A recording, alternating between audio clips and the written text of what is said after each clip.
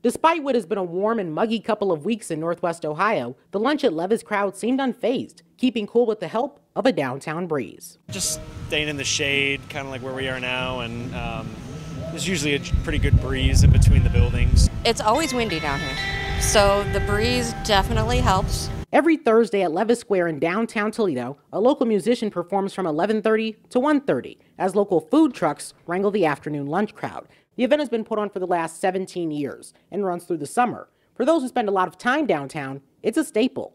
Fry, who works in close proximity to the park, just happened to find out about the concert series while roaming downtown and has continued to come back ever since. This is a good thing to do. They also have, I think, a fountain concert series on Tuesdays, so that's always good to check out too.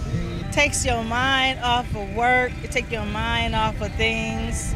Just for that few moments of eating and listening. I just like seeing all the people out here and people enjoying themselves. The two friends say by far the most significant aspect of this concert series is seeing downtown Toledo's transformation. No longer is it just a place where people come to work, rather one where community comes first. Absolutely fantastic. And working downtown now with so many things going on is fabulous. They did an excellent job over here fixing this up. Now to see all the upcoming acts right here at Lunch at Levis, visit downtowntoledo.org. Reporting in Toledo, I'm Jaden Jefferson.